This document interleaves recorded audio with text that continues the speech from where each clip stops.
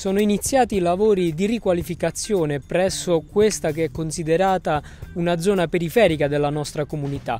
Qui verrà l'hub intermodale, vale a dire il posto in cui ci sarà l'interscambio di tutti i mezzi di trasporto urbano ed extraurbano.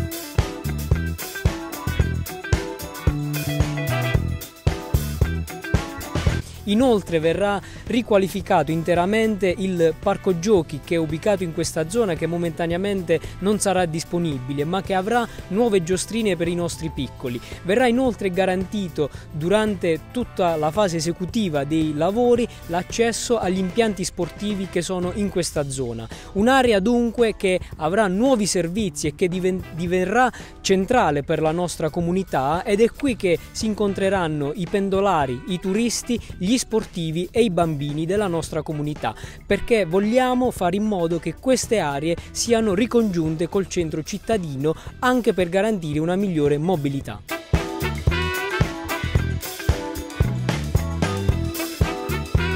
Con questa infrastruttura andiamo a rivoluzionare completamente la mobilità urbana ed extraurbana eh, tutti sappiamo che i pendolari sono quelli che hanno più sofferto lo spostamento del capolinea in una zona di periferia. Grazie alla realizzazione del terminal bus andiamo a fornire quei servizi mancanti e, eh, sia ai pendolari della nostra città che raggiungono i posti di lavoro o, o la scuola, sia ai turisti che vorranno raggiungere la città dei due settimane.